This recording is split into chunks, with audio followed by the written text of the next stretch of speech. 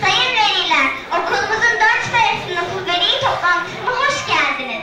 Şimdi sırayla gelip çocuklarınızın durumunu benden öğrenebilirsiniz. Evet, siz buyurun önce. Hocam ben Hatice'nin annesiyim. Aa, demek siz Hatice'nin annesiniz ha? Kızınız Nazlar'la hep konuşuyor efendim. Ah ah hocam, sizi babasını görseniz evlendiğim günden beri daha hiç susmadı. Hocam ben Ziya'nın babasıyım. Ha şu kopyacı Ziya. Beyefendi çocuğun hep kopya çekiyor. Ama hocam nereden biliyorsunuz? Belki o arkadaşı bizimkinden kopya çekiyordu. Mümkün değil. Arkadaşa sorduğum bir sorunun cevap kısmına bilmiyorum diye yazmış. Ziya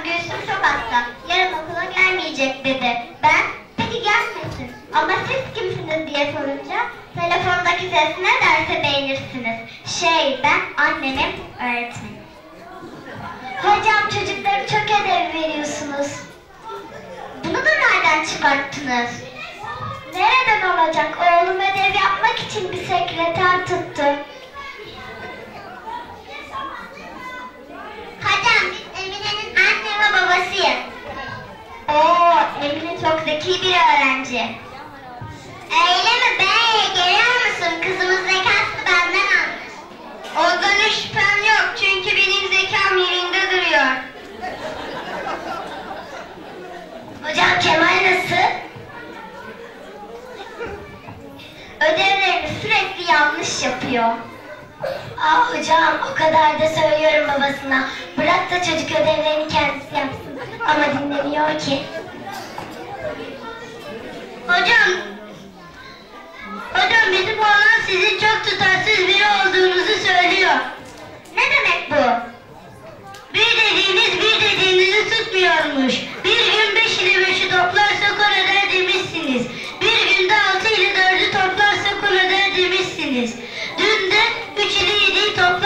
burada ödemişsiniz. Çocuk bunun hangisine inanacak Allah aşkına?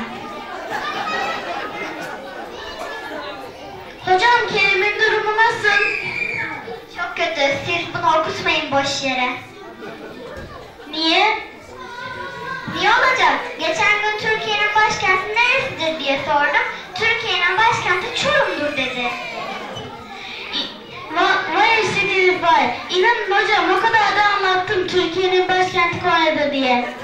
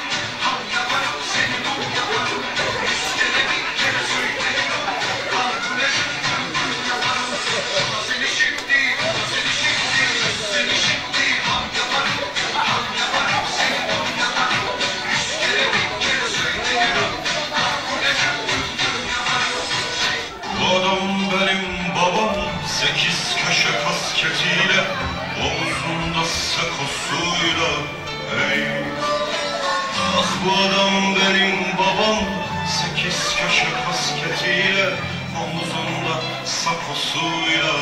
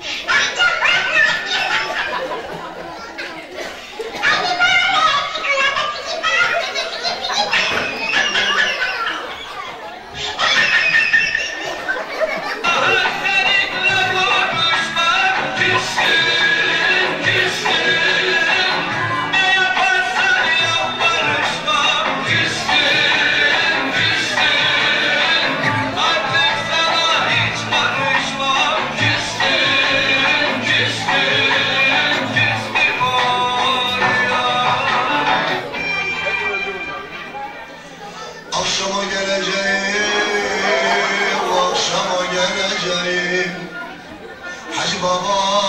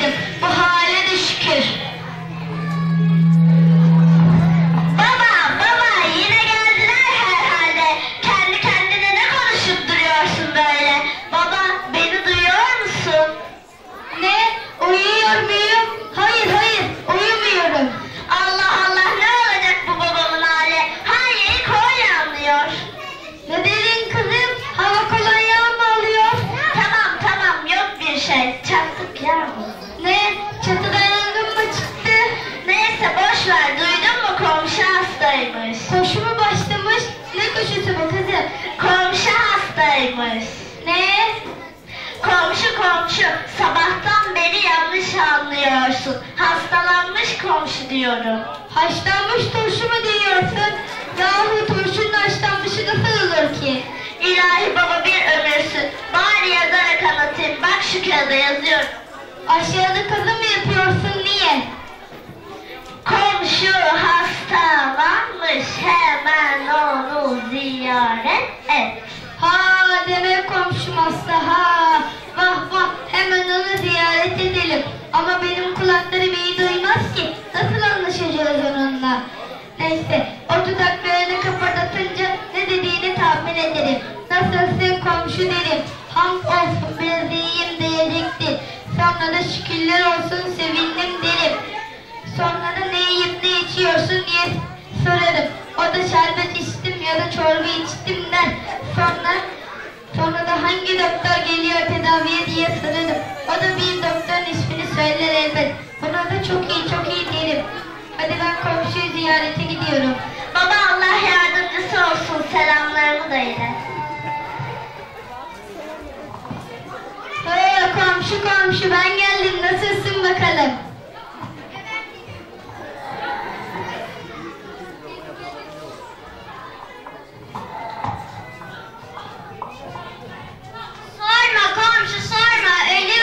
Ölüyorum. Of of.